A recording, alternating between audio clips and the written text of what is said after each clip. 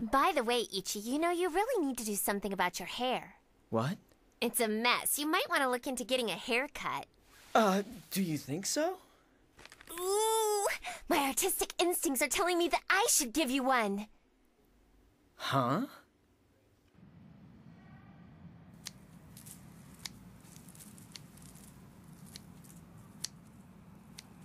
Hey, do you know what you're doing? Come on, relax. You gotta trust my talent. Your talent?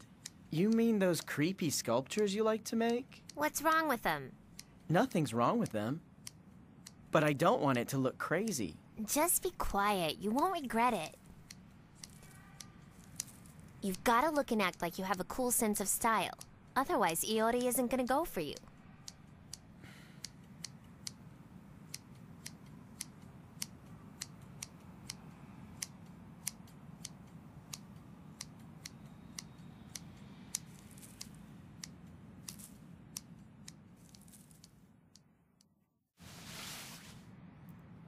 Hey! Not bad. Itsuki, you're really good with your hands after all. Told you so. Uh, oh no. I feel reinvigorated, like I'm a new man. well, thanks. I really owe you one big time. What do you want in return? You can have anything. Hmm. Are you sure I can ask you for anything? Huh?